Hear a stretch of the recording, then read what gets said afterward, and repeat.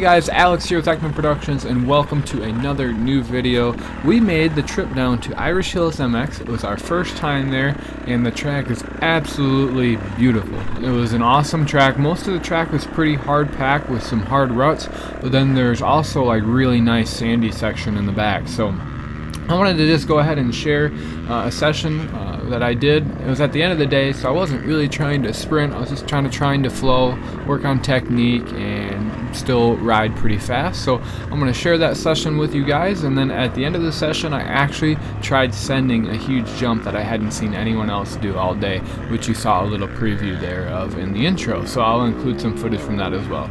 So anyways, thank you guys so much for watching, and I'll see you in the next video.